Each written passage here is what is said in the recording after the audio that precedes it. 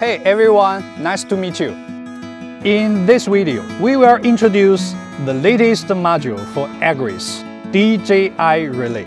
Previously, flying over tall crops, trees, or hills might block the signal connection between the remote controller and the drone. Now, with DJI Relay and the latest firmware for T40 and T20P, we can solve this problem. Now, we will introduce how to use the DJI Relay. The first step is to pair the relay module with the drone. Short press and hold down the power button to turn on the relay and wait for RC and UAV lights to turn red. This process will take around 10 seconds. And then long press the power button again until the left RC lights turns green. Then we start the pairing mode. Then we can go back to the remote controller side. Go to device management. Select relay module. Click linking.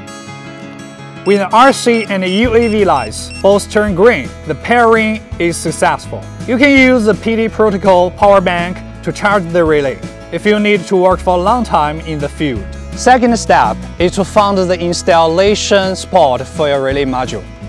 The best location is a relatively high and central spot for your spraying area. This will ensure the signal coverage and connectivity for your joints. Third step is to mount the relay module. We provide a standard tripod connector for you to mount the relay module, but you need to use your own tripod or pole. You can buy or make the suitable pole and tripod based on your own terrain and crops. Please be noted that the relay module should be installed at least 2 meters higher than the crop canopy that you will spray and especially for the safety, please do not use it outside under the thunderstorm weather. Now, all the preparation work is done. Let's test the signal connection. As we can see, the drone maintains a stable signal even when flying to the other side of the mountain feet and reaching the valley. That's all about the introduction to the DJI Relay.